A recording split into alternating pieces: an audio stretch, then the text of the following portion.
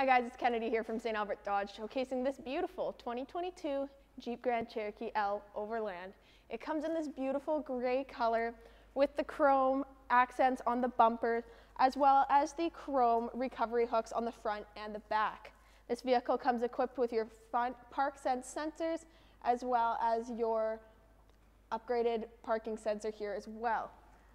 You have your beautiful bright LED headlights and fog lights, as well as brand new Bridgestone Ecopia tires with plenty of tread left on them for all of your upcoming adventures. You have heated mirrors with integrated turn signals and blind spot monitoring. You have your keyless passive entry as long as your key is on your person. Moving around to the back here, we have our bright, beautiful LED tail lights to match with the headlights, as well as our rear park sense sensors and our high definition backup camera. Looking into the trunk here, you have plenty of space for all of your cargo needs, hockey bags, golf clubs, you name it, you can fit it in here. You have your buttons to control your seats. They fold them down, both third row and second row, as well as your 12 volt converter for your camping supplies. Join me on the inside for more. Thanks for joining me on the inside, guys. Lots to go over here.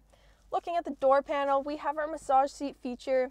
So you press that button and all of your settings will come up on the screen here for both the driver and the passenger. You have your memory seating on the door panel here as well. So if you're a multi-driver household, click that button, save your seat memory, your mirror memory, and your steering wheel. So next time you get in, all you have to do is click that button and everything will be the same for you. Coming down here, you have your power mirrors, your power windows, and your locks. We have a beautiful McIntosh sound system in here very premium, top of the line. They use it in a lot of recording studios. It's really awesome. The bass is great. Take my word for it. Looking into the steering wheel here, we have our Bluetooth voice command controls and our cluster dash display controls.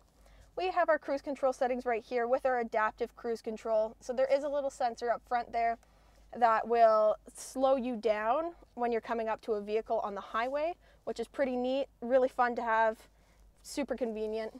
Looking into the screen here, we have our home controls. These widgets here are all um, customizable. Right here, you just select what you want, put it there, put it wherever you want.